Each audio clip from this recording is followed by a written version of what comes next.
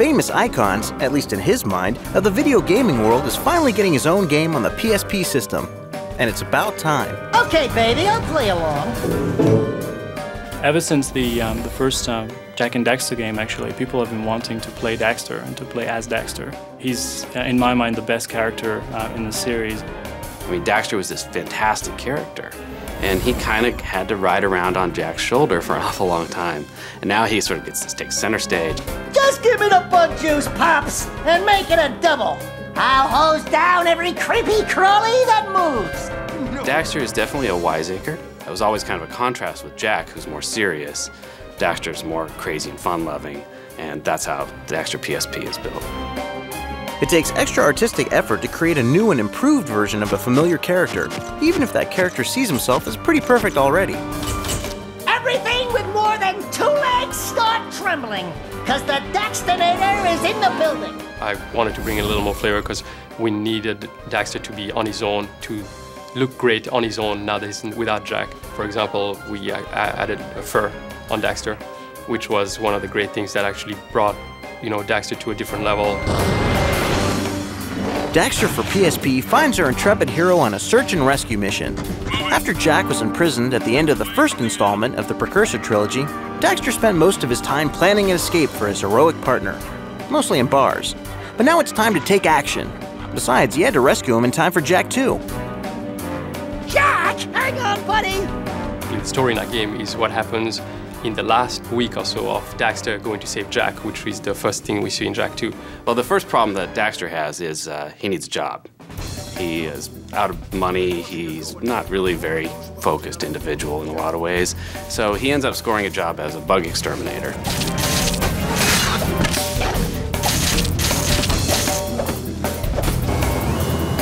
As you follow Daxter on the job, some familiar and not so familiar faces pop up in all sorts of locations in this full-size platformer. The characters in the Daxter PSP game are mostly new.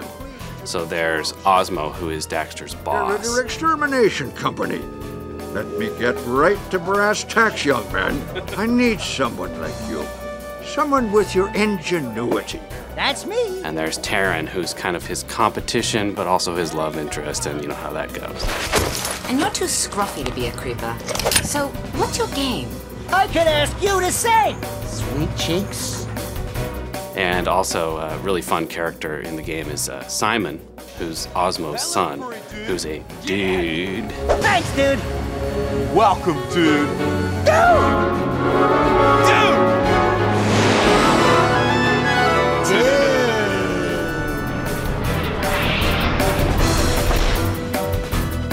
develop Daxter, we actually used just as much resources as any PlayStation 2 title.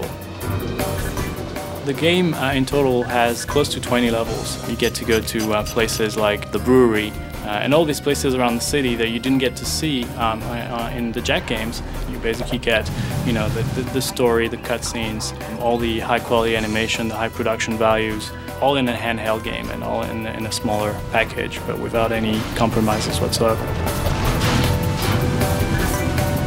As Daxter ventures and battles through this world, check out his cool new moves and even cooler weapons and combo attacks. There are two things about Daxter that we really wanted to emphasize in how he moves and how you control him. We made sure that Daxter can get down on four feet and sneak past enemies, or he can climb walls on four feet. The second thing is Daxter's kind of crazy. And so the moves that he does have to have a certain amount of craziness to it. They, they, he gets really enthusiastic.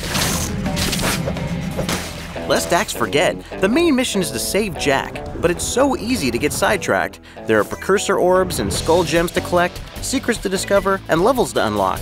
And at long last, Daxter rules the world. In his dreams. We created some really, really challenging and neat mini games based on the idea of Daxter taking a nap and dreaming that he's something fantastic. Well, the dream levels were, was a chance for Daxter to fall asleep and become the hero he's never been.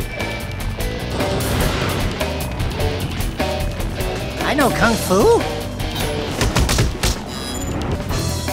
As Daxter will tell you, small things come in great packages. Uh, no, it's great things come in small packages. Anyway, this is a great game for the PSP. Daxter is really the first game on the PSP that gives you a full-blown action platform game experience on a handheld. It was a huge undertaking. I think it was it was greater than we ever imagined it was going to be. It's been our whole life pretty much for two years with every guy in, in this place. Has poured everything he had into into this game. Um, Daxter is going to be, you know, a really big milestone on, on PSP to show what the platform really can do, and on it, and I think it's going to surprise people. And it's a blast. It's been a blast to develop a game for Daxter because he's such a fantastic character, and it'll be a blast to play it as well.